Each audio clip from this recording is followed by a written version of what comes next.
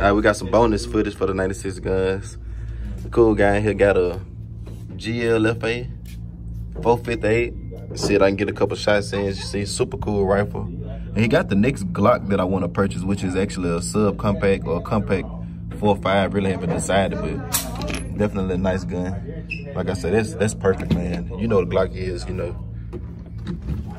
But this is, I mean, sights. Put the sights on the camera for y'all. Heaven. It's light. I mean, You it see ain't what I'm light. I'm gonna um, shoot it three times and let you shoot it three times. Okay. You know what the safety is? It's safety in five. Yeah. This is. Hold on. Who is it? Who this AR made by? GLFA. Oh, oh, it. Okay. Yeah. Come on, you going?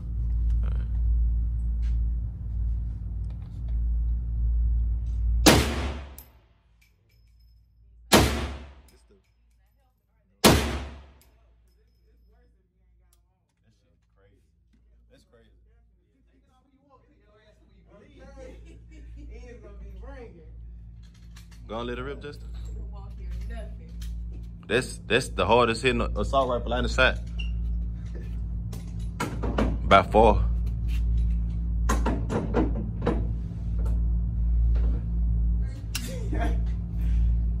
he,